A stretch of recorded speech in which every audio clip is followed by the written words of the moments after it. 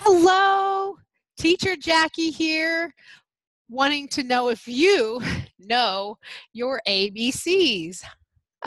Well, I will tell you that I've been teaching for a while now, and I realized I didn't know my ABCs. At least I didn't know how to sing them the VIP kid way, also the way they are taught in China in their English classes. So it will be a pleasure for me to help you also know your ABCs in uh, the VIP Kid way.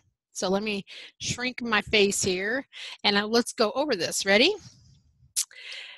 A, B, C, D, A, B, C, E, F, G, E, F, G, H, I, J, K,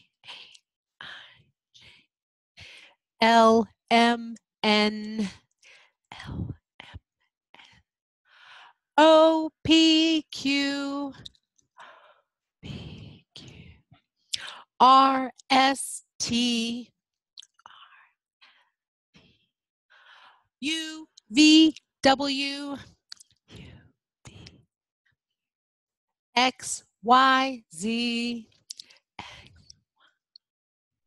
Crazy, huh? Well, this is just a fantastic way to help your student and even yourself say the L M N L M N O P Q. It's just a great way so we're properly sharing that the letter M and the letter N are two different sounds because we all kind of blended elemento. Elemento, right? Elemento.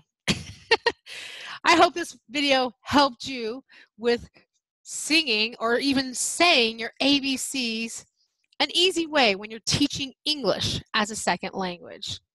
If you have any questions or need anything else, let me know. Comment below, give me a like, subscribe, or even ask me on helping you becoming a VAP teacher, or even if you are, let's share some information and help each other out.